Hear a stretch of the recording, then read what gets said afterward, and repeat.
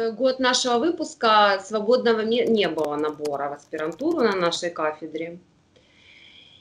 И Тышлер Давид Абрамович, э, который был тогда заведующим кафедрой, мне сказал, Оль, приезжай на следующий год, вот на следующий год будет место, приезжай, я тебя возьму. Вот, то есть, ну, как бы был бы рад. Но на следующий год э, произошел распад Союза как раз. Вот мы закончили институт, и в августе случился этот путь и все такое.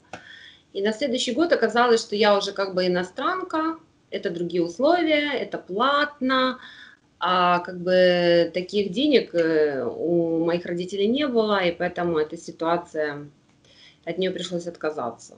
То есть я, конечно, больше была на аспирантуру нацелена.